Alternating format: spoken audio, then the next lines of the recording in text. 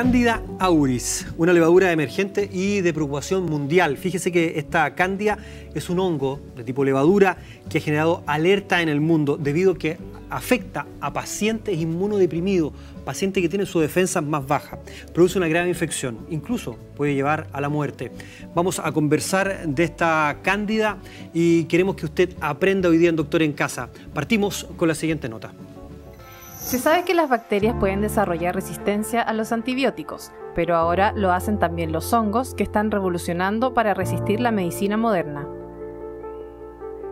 Uno de estos hongos es el Candida auris, que está apareciendo en hospitales de todo el mundo y es mortal para las personas que lo contraen en un plazo de 90 días.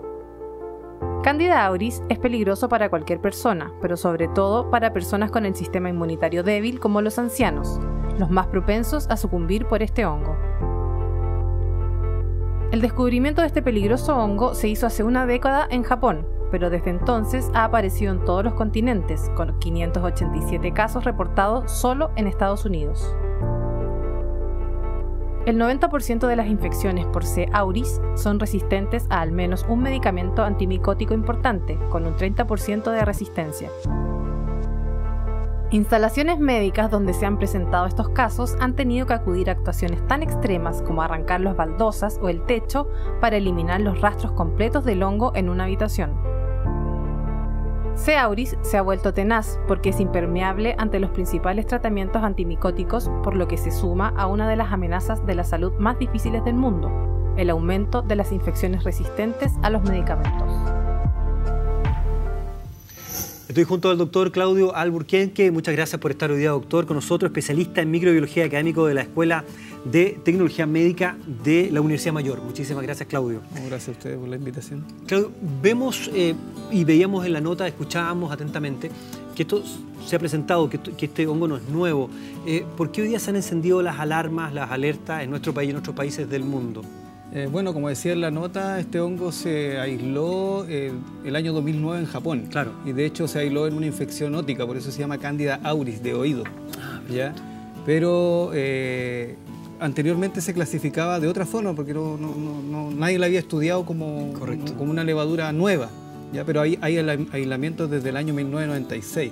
Ahora lo interesante que tiene esta cándida es que se disemina rápidamente es capaz de adherirse a muchas superficies, a las camas de los pacientes, las sábanas, todo lo que usan los pacientes, donde tocan los pacientes, se adhiere la cándida y puede permanecer en el ambiente. ¿ya? Entonces eso hace que se disemine rápidamente. Claudio, permanece en el ambiente, para que aclaremos eh, a, a, nuestros televidentes, permanece en el ambiente pegada a, muebles, como tú decías, puede estar, ¿en, qué lugares puede estar? ¿En, cualquier objeto, lugar en hospital? En cualquier, eh, lo que nosotros llamamos en, biología, ¿cierto? En, ciencia, es fomites, que son objetos inanimados. o sea, la cándida puede vivir en la piel del paciente durante mucho tiempo y pueden haber pacientes que están colonizados sin tener ningún problema. Puede ser portador, claro, sin tener... Que son, ese fenómeno se llama portación. Pero basta que ese paciente toque, por ejemplo, una mesa, ¿ya? Y, la cándida se pega ahí. Y viene otra persona, eh, toca la mesa también y se lleva la cándida que no tenía anteriormente. Ahora, la condición para enfermar o la condición para que produzca daño es que tus defensas tienen que estar bajas o hay reportes de problemas en, pacientes que no tengan necesariamente su, una inmunodepresión o que tengan sus defensas más bajas. O sea, las cándidas en general, todo el género cándida son considerados oportunistas. De hecho, en mis clases le enseño yo a mi estudiante que es como mi, caballito de batalla para enseñarle qué es lo que es un patógeno oportunista. Claro. ¿ya? Entonces las cándidas, como su nombre lo indica, oportunistas, se aprovechan de cualquier problema que tenga el paciente. Baja las defensas por estrés, ¿ya? Eh, está un paciente oncológico, una, una, paciente embarazada, pacientes en la edad extrema de la vida, ya sea recién nacido o, ancianos, ¿ya? Eh, pacientes con heridas, pacientes diabéticos, por ejemplo, diabéticos descompensados. Claro. ¿ya? Es suficiente para que Cándida pueda provocar algún tipo de infección. Correcto. Ahora veamos también la nota, el tema de la resistencia. Nosotros en el programa lo hemos explicado, pero me gustaría, que, Claudio, que tú pudieras explicar también el, qué significa que este hongo sea resistente. En general, el fenómeno de resistencia no, eh, no se ve solamente en, se ve también en bacterias, nosotros lo vemos a diario, ¿cierto?, en, el hospital y en las clínicas. Resistencia significa que el hongo en este caso el hongo, que anteriormente era sensible o que se podía tratar con los tratamientos, en este caso con los antifúngicos habituales, ya no se puede tratar con los antifúngicos habituales porque eh, vive. Sigue viviendo en el paciente. A ese fenómeno se le llama resistencia. ¿ya? Ahora Candida auris tiene una resistencia especial porque es más resistente que las habituales. ¿ya? ¿Esto qué quiere decir? Que eh, nosotros generalmente en clínica se usan cuatro antifúngicos y Candida es prácticamente resistente al 100% a un tipo. ¿ya?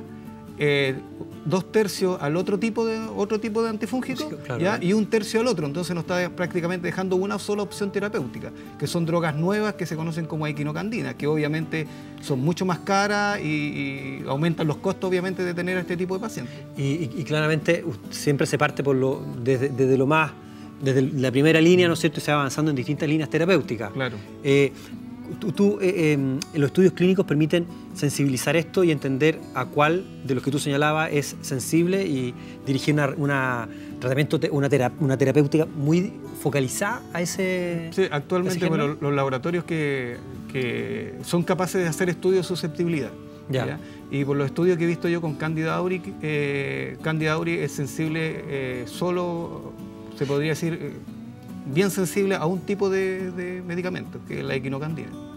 Fíjate que claramente uno cuando habla de esto siempre se encienden las alarmas, las alertas, la gente se preocupa mucho por esto.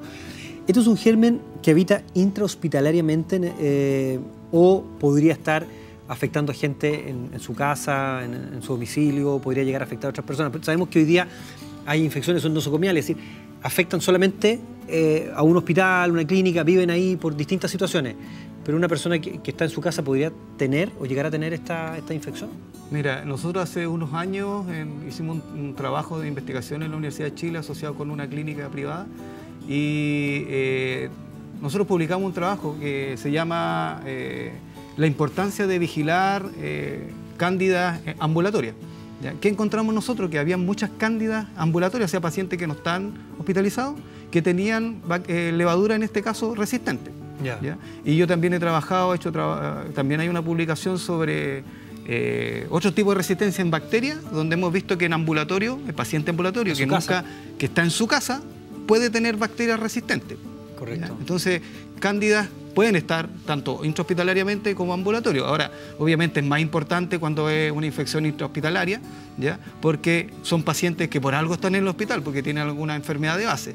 Entonces, estos oportunistas como Candida albicans obviamente causan infecciones graves que pueden llegar a la muerte. Cuando, cuando uno dice, eh, tenemos en Chile, Candida, la, gente se asusta, y esto ha salido en las noticias, en la prensa, eh, desde, desde lo sanitario, desde la medicina, ¿Cómo podemos dejar tranquila también a la población hoy día cuáles son las conductas que se toman en estos casos desde el área sanitaria? ¿no?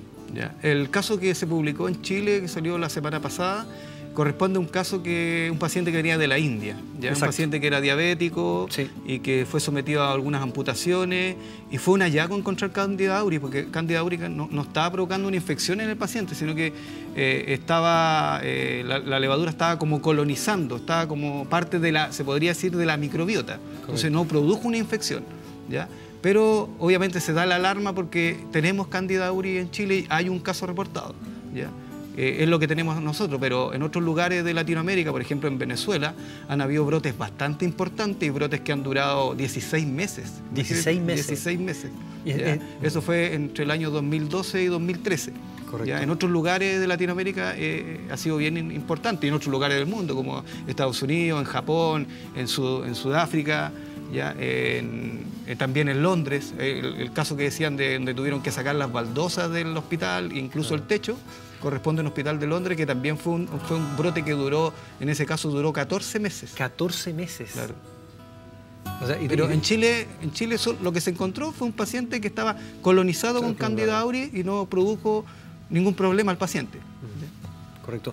Eh, desde, desde, el punto de vista de la prevención, de lo que tenemos que hacer nosotros, sobre todo hablando y pensando en aquellas personas que están cuidando ¿no es cierto?, a un paciente diabético, que están cuidando a un adulto mayor que por las características ya sabemos que pueden tener algunos problemas inmunes o a niñitos muy pequeños.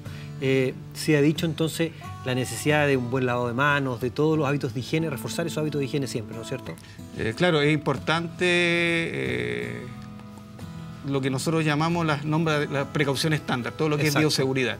¿ya? Mientras en los lugares eh, hospitalarios se sigan todas las normas, ¿cierto? todos los protocolos, no deberían haber problemas de brotes. Ahora, igual Candida auris es especial y lo que se recomienda cuando hay un paciente incluso colonizado con Candida auris es el aislamiento total. ¿ya? Ese paciente no puede tener contacto con, otros pacientes. Mm. ¿ya? Y obviamente los materiales que se usan en él ojalá se desechen. Material desechable y eh, el CDC, que es el Centro de Control de Enfermedades eh, de Atlanta, eh, recomendó que el personal que esté a cargo de estos pacientes o que atiende a este paciente sea acotado. Para que no se produzcan estos brotes. O sea, mientras se cuide todo lo que es bioseguridad y precaución estándar en los hospitales, no deberíamos tener brotes de, este tipo de patógenos. Correcto. Muchísimas gracias, Claudio, por estar hoy día con nosotros en el programa. Eh, y agradecemos, por supuesto, también a la Escuela de Tecnología Médica de la Universidad Mayor, donde usted ahí es académico.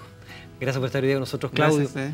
Nosotros seguimos avanzando con más Doctor en Casa Información. Ah, y le quiero recordar que usted puede ver este capítulo y otros capítulos más de nuestro programa en www.doctorencasatv.com y también seguirnos en nuestras redes sociales, Facebook y también en Instagram. Hacemos la pausa y retornamos.